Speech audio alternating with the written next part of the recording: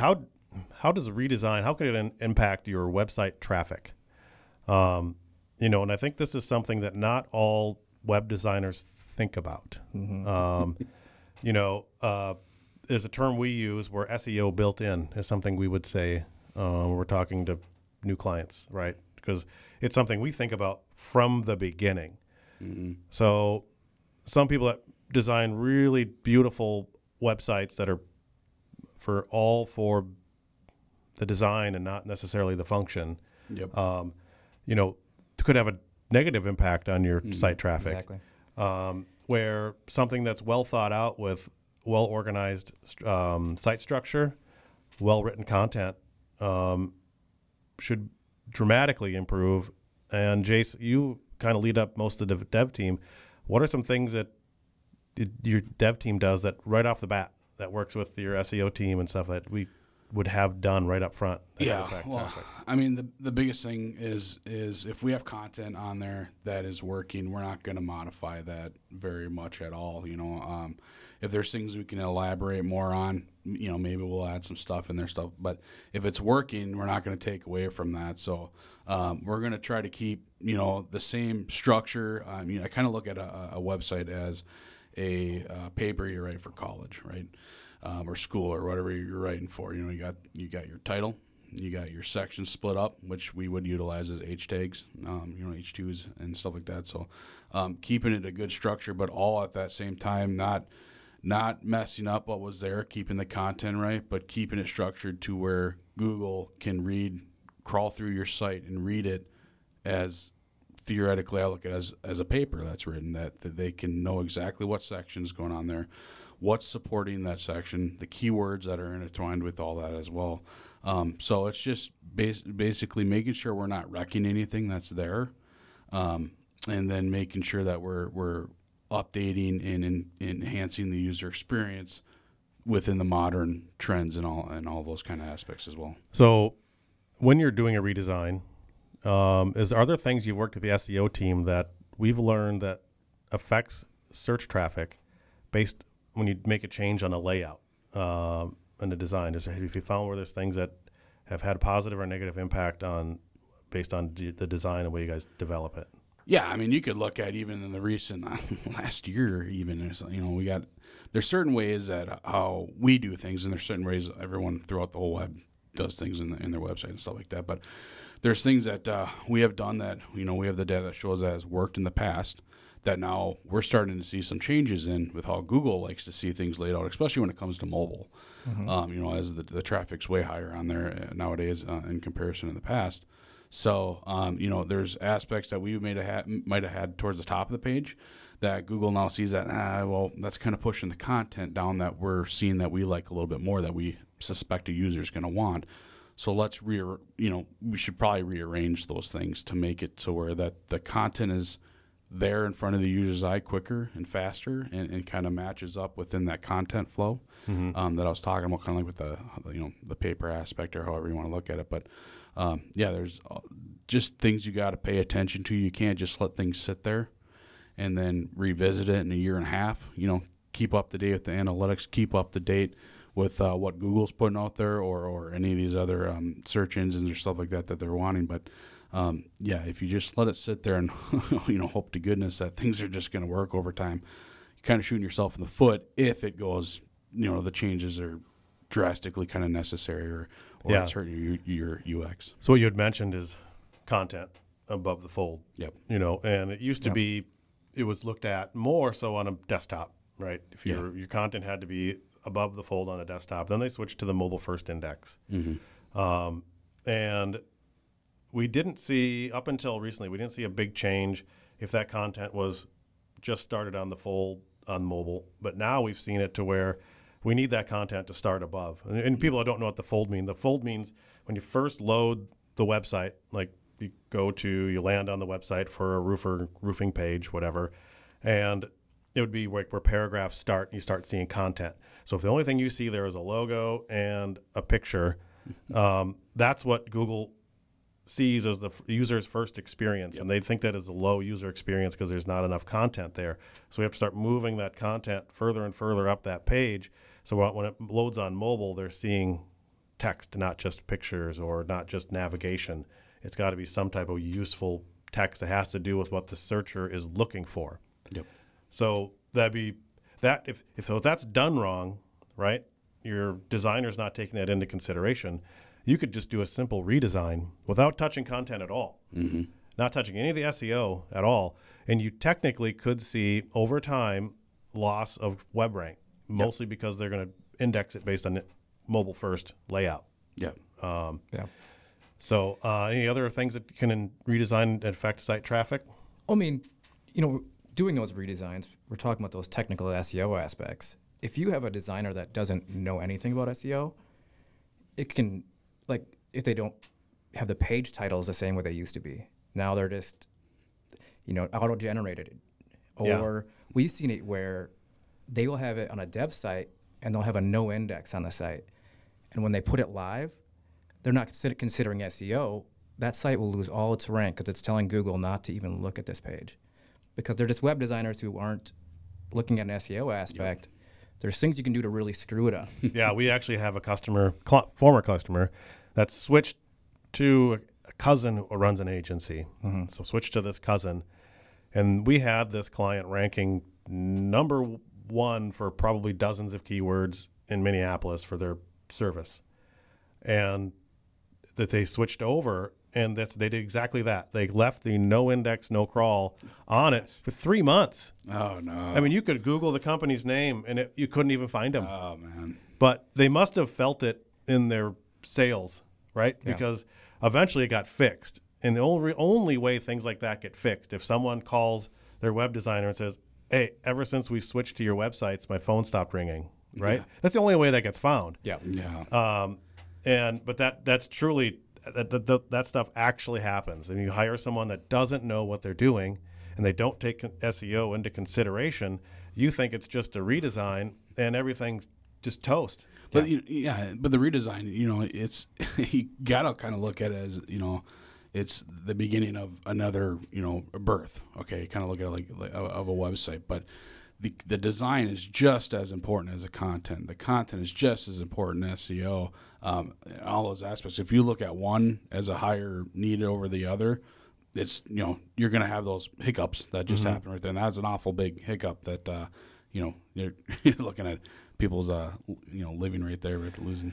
yeah, and then stuff, so. um, this is another thing we train developers when they come in that there's certain things we do as well right off the bat. Um, so there's two ways that SEO works, right? One way you hire a designer who makes the site. They set it up over here. Then you hire an SEO company over here who comes in and undoes all the mess the designer created, and they almost will take a full year. You're going to pay this guy thousand dollars a month for a year to fix all the crap that the web designer didn't do right to begin with, right? Yep. So when we hire a developer, the first thing we teach them is how to put in alternate image tags, how to how to structure the content with header tags, right? How to how to put in link titles and image titles and all these little things behind the scenes that most people, or even how to name the image, right? just just the file name, Simple things like just that. little things that help with image search, Yep. right? Um, that we we do right off the bat, um, and then like our SEO people, Jared, Brittany, they don't have such an uphill battle to climb. The day we launched that site, we, we, they they clean up a few things, Yep. right? Because they're more versed in the keywords they're Yeah. going after, but that they have a much. I mean, we're talking like an afternoon, yeah. right? Not a full year of of undoing someone's wrongdoings. Yep. Um, so. I don't know. Any other ideas of how a redesign alone can affect your uh, SEO or site traffic? Well, I mean, you got also got to consider the traffic that's already coming there.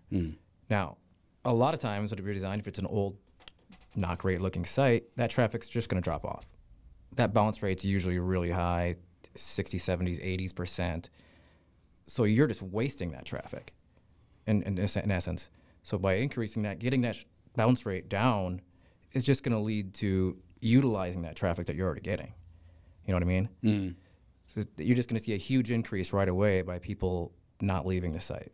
Yeah, which kind of goes right into our next topic, um, which is how do you convert more leads with a website redesign, right? I mean, I think it kind of intertwines right there. Yeah, yeah, exactly. It, it comes down to the UX. It comes down to did you modify SEO tactics within that during the redesign? You know, for the good or the worse. Um, so I mean, there's just you got to plan. You got to plan it out. You can't just you know throw a, a new design. You got to have a, a plan that that interlocks and intertwines with all the other aspects, so you don't hurt yourself ultimately. Yep. So Nick, converting more leads on a website redesign. What are the give me some ideas of things that maybe some designers skip that we always do that just by adding it alone to your new desi- website will take that 80% bounce rate and maybe convert more of those Sure. people into sticking around. Well, here's one thing. Like, let's say you're a lot of com- times companies that are just starting out, they go the cheap route when they first do their first web design, right? What that oftentimes means is when they built this, they made it very generic. They're using stock photography. Mm. They're not taking their time writing the content. It's a very generic site that anybody could have. Yep. It could belong to the company down the street. You don't know. There's no personalization to it. That comes in with trust factors. Trust factors, when someone lands on your site, they get a feel for you, they trust your company. That leads to is probably one of the biggest increases in conversion you can make. Having photos of you, your vehicles, your the people you work for you, mm-hmm. things like that, that is personalizing it, just makes people trust you. They're gonna click that button. They're gonna they're gonna call you right away. It's just that's probably the biggest thing that I see is between kind of a crappy website versus something that's actually going to convert. yeah. How about a phone number? Yeah, yeah. are your are your calls to actions actually there? Yeah. We kind of have a rule with us that there he needs to be con- CTAs, calls to action on every section of the site. Mm-hmm. So no, no matter what, no matter where they are on the site, no matter where they're scrolling, somewhere in that section, they have a way to contact you. It's not buried in a. Uh, you got to go to the footer to a contact page, and then that's how you contact. Yep. That, that's making it way too hard for Yeah. people to contact you. You know, so having that phone number, and not just a phone number. A lot of people say I only want calls, but maybe someone doesn't want to call you. I don't, after I don't want to talk to you. Maybe they would just want to go on that form and click you and just send you an easy email Yep. because you they, they want to have you come to them on their own time. You know what I mean? So having both ways to do it means there's some people some people are passive, some people are more aggressive and want to talk right now. Mm-hmm. Yeah. You need to have both for different types of users that land on your site. So that's another huge thing too. Yeah. Yeah. And just even how those call to actions, like, you know, speak to, to different to different people. You know, you're gonna have different verbiage that you're gonna use in those call to actions. You don't want to get repetitive, like the same request a quote over here, request quote, request. Well, maybe someone um, is feels better when they hear free quote. Maybe Yep. somebody here likes to hear better. Get your roof quote today.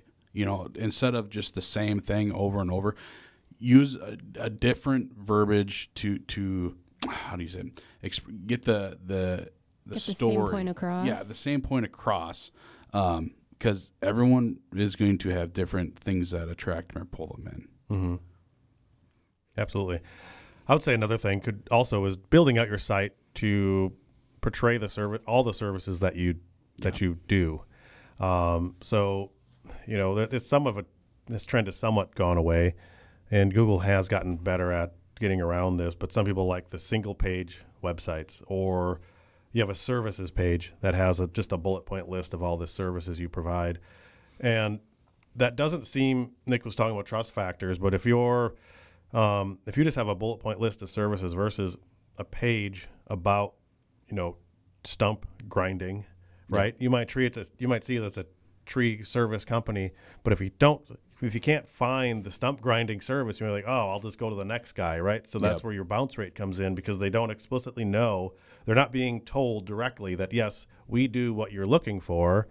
Here's the page on it, and if your if your site's done right with SEO and they search for a stump grinding company, right, they're going to land right on that page, um, and that is going to get you more leads because they know they're in the right spot. There's no reason to leave. They have the trust factors from Nick. The phone numbers on the top. They have a get a free quote, right? Um, and that's that's a big pet peeve of mine is when you see people with a, a website where it's like you look at the header. So when it lo- opens it on the phone, the only thing you see is like their social icons Ugh.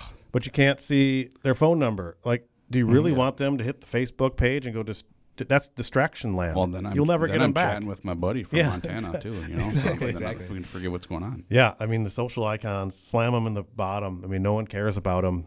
Well, on those social thing, you know, those aspects, those are there to get people to your site. Use Yeah. as an avenue to your site. It's not there to send them out. You know, Exactly. so Yeah. Any other thoughts on converting more leads? Yeah, it, for me, it's just you know when it comes to the content, you, you, you know, just people want things fast. They want it. They want it to be simple, and they want it to be clean. And if you're making it, um, you know, hectic for them or hard for them to search, I mean, when I'm on the phone, we're lazy. You know, we want we want the simplicity. Um, so you got to look into that stuff when you're doing redesigns or just in general the UX. It's got to be it's got to be there for the user, not per se to how you may like it as a company. You know, mm-hmm. you you know your employees are not going to be on there calling you. Well, they might be calling for a service if it depends what the service is, but the users are going to be where you're going to be wanting to get the stuff. So you need to pay attention to them more than what you're necessarily wanting. Yeah, to that point, we're talking about content and writing out content. Another aspect of that is people don't actually read. No. They don't read large sections of paragraphs. That is. Yeah, They're not. Mean, maybe some people do it when they're really trying to dig in, but usually they're not gonna. If you hide some key details in a big paragraph, then nobody's gonna see it. No. That's why you need to have small chunks, bullet points. We call them our UVP sections, where the biggest things you want that user to know should be right there in a easy to read section, bold, bold font. This is the main reason you should contact me right Yep. here. Boom. Don't stick it in a paragraph.